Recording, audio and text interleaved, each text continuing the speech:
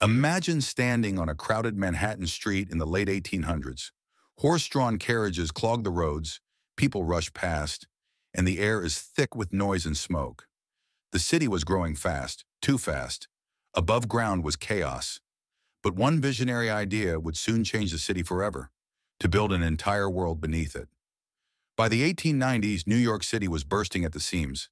Streetcars, carriages, and trolleys couldn't keep up.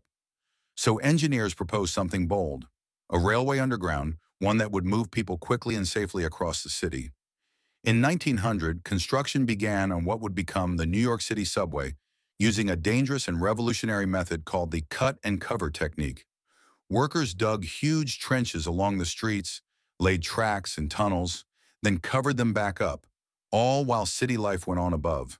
Thousands of laborers, many of them immigrants, worked around the clock with picks, shovels, and dynamite. The work was brutal. Accidents, cave-ins, and gas leaks were common, but their determination pushed the project forward.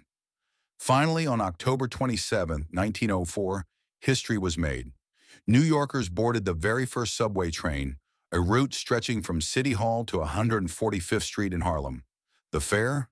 Just five cents. Over 100,000 people rode it that first day, cheering as they entered this new underground frontier. Over the next century, the subway system expanded beneath all five boroughs, a living, breathing network of tunnels, art, and engineering. Today it carries millions every day, still powered by the same bold dream, to move a city beneath a city. So next time you step into a New York subway station, listen carefully.